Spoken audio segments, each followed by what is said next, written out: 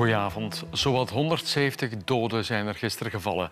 Vooral Afghanen, maar ook 13 Amerikaanse militairen bij de zware terreuraanslag bij de luchthaven van Kabul in Afghanistan.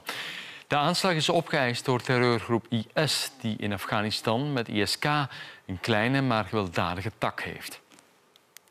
De kledingstukken, de schoenen, het bloed. Sporen die duidelijk maken welk drama zich hier gisteren heeft afgespeeld. Duizenden mensen stonden hier samen toen aan Abbygate de zelfmoordaanslag werd gepleegd.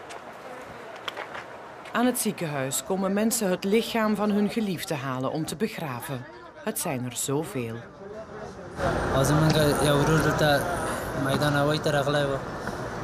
چې لاړ شي بهرنیو کشورو ته او بدبختانه انتحاري ده پای تر پایه وشوه.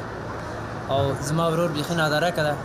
نو معلوم نه ده چې چې هلته په میدان هوایي څنګه ده. هلته څوک نه پرېږدي. امریکایان دي او تهدیدوي چې دلته مه راځئ In de loop van de avond eist de terreurgroep ISK of IS in Khorasan, de lokale tak van IS, de aanslag op. Toch houdt het geweld van gisteren mensen niet tegen om vandaag weer naar de luchthaven te komen.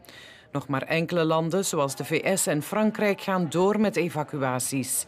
Velen willen absoluut nog weggeraken van hier. De Amerikaanse president Biden wil IS straffen voor de aanslag, waarbij dus ook Amerikanen om het leven kwamen. Dat heeft hij nog gezegd in een speech afgelopen nacht. De president toonde zich aangedaan en sprak zijn medeleven uit met de families van de gesneuvelde soldaten. Biden heeft de opdracht gegeven om operaties voor te bereiden tegen IS, zegt hij. Hij richtte zich in zijn toespraak ook rechtstreeks tot de daders van de aanslag.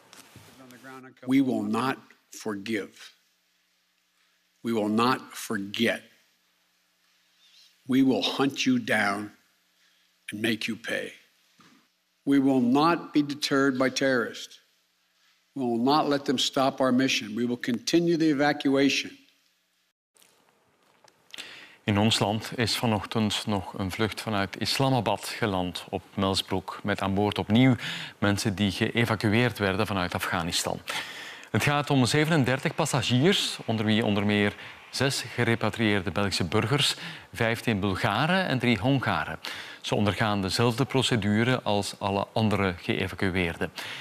Het chartervliegtuig is nu voor een laatste keer teruggevlogen naar Islamabad in Pakistan. De Brusselse regering wil meer mensen gevaccineerd krijgen. Daarom zullen jongeren vanaf volgende week ook op school een spuitje kunnen krijgen. 24 procent van de Brusselse jongeren tussen 12 en 17 heeft op dit ogenblik een eerste prik gekregen. In Vlaanderen is dat maar liefst 77 procent.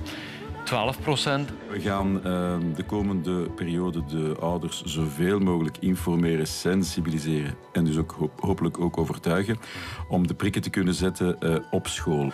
En dan hopen we toch, om u een idee van cijfers te geven, zijn 75.000 kinderen in het uh, secundair onderwijs in Brussel. We mikken eigenlijk toch wel op, op 50, 60.000 van die kinderen. Hoor. Dus ja. we leggen de lat voldoende hoog om het verschil te kunnen maken.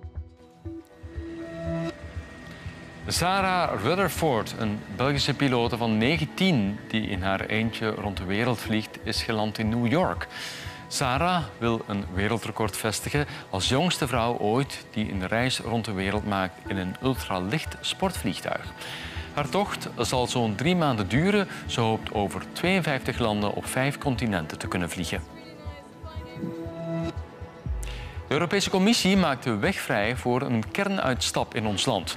België mag de gascentrales subsidiëren die tegen 2025 het verdwijnen van de kernenergie moeten opvangen. De ondersteuning komt er omdat de centrales stroomtekorten moeten voorkomen, maar op zich niet rendabel zijn. Het weer zat niet altijd mee, maar het was een goede zomer voor het toerisme aan de kust. Dat blijkt uit cijfers van Westour, het toerismebedrijf van de provincie West-Vlaanderen. In juli en augustus waren er 12 miljoen overnachtingen. En dat is 3% meer dan vorig jaar. En ook de dagjesmensen waren van de partij. Met 4 miljoen waren ze evenveel als in 2020.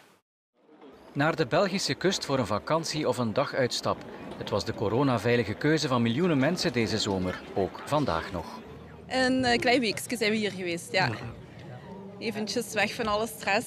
Uh, normaal gaan we alle jaren eigenlijk naar het buitenland. Maar nu met heel die corona-dingen allemaal hebben gedacht dit jaar... we gaan eens een beetje genieten van de Belgische kust. Er kwam meer volk naar zee dan vorig jaar. En dat terwijl het weer minder goed was. Eigenlijk hebben ze een beetje geluk gehad, denk ik, hier aan de kust, dat het uh, coronatijd was. Want misschien dat er dan toch, en moest het niet zo geweest zijn, zou er misschien niet zoveel volk gekomen zijn, omdat het weer natuurlijk wel iets, uh, iets minder was deze zomer. En wat wordt het volgend jaar? Zal de kust dan evenveel toeristen kunnen lokken, ook als reizen naar het buitenland weer helemaal normaal wordt? Westtour denkt alvast van wel. Men heeft uh, ja, de nabijheid van de kust. Uh, men heeft uh, het aanbod aan evenementen. Ehm, ja, de vele activiteiten die men hier kan doen. Niet enkel het strand, maar ook fietstoerisme, wandelen. Vandaar dat die vakantie in eigen land en aan de kust eigenlijk wel een, een blijver is volgens ons. Op de Paralympische Spelen is ons land al zeker van een vierde en een vijfde medaille met tafeltennissers Laurens de Vos en Florian van Akker. Welke medailles het precies worden, dat is nog niet zeker. De Vos, hier in beeld, en Van Akker zitten allebei in hun categorie bij de beste vier. De verliezers van de halve finales krijgen elk een bronzen medaille. Maar De Vos en Van Akker gaan als Paralympisch kampioenen van Rio wel duidelijk voor goud. En net binnen is dit bericht. Cristiano Ronaldo keert na 12 jaar terug naar Manchester United, de club waar hij in 2003 doorbrak. De ondertussen 36-jarige Ronaldo tekent er voor twee seizoenen. Hij speelde twee seizoenen voor Juventus, dat vandaag liet weten dat Ronaldo niet meer voor de club wilde uitkomen. En daarmee heeft u alles gehad voor nu. Straks om 7 uur nemen we u mee naar onze hoofdstad. Daar kon je deze week elke middag gratis naar Nederlandstalige optredens gaan kijken tijdens Boterhammen in de Stad.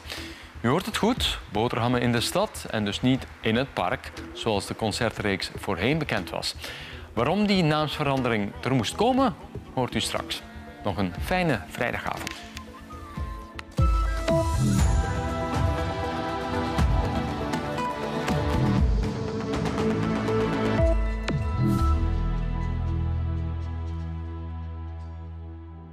Met de 14 Nieuws-app heb je altijd betrouwbaar nieuws op zak.